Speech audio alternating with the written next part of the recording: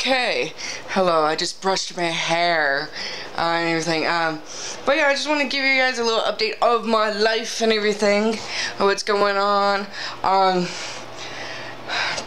as many of you guys know, uh, especially if you've been in the last few weeks been following me on live streams and everything, uh, I really don't like my cat.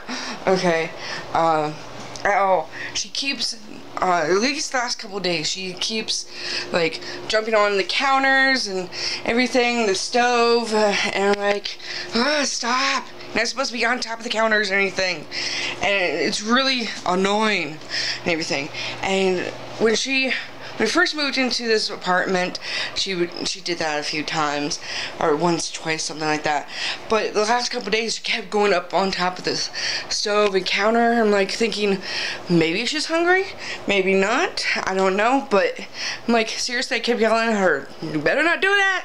And I squirted um water and everything at her and stop and everything and I ended up yesterday she I saw her on the counter and everything and I of course punished her for being up there and put her in the cage I'm like I'm not dealing with this shit or anything and pisses me off.